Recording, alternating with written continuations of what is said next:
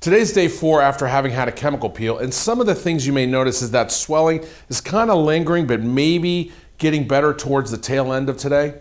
Uh, your skin is definitely turning darker, and you might even notice some patches of peeling. Remember to not pull the peeled skin off of your face. As you wash your face with the balls of your fingers, a lot of that skin will start falling off naturally. Continue to use the Vaseline until we see you at your one week visit.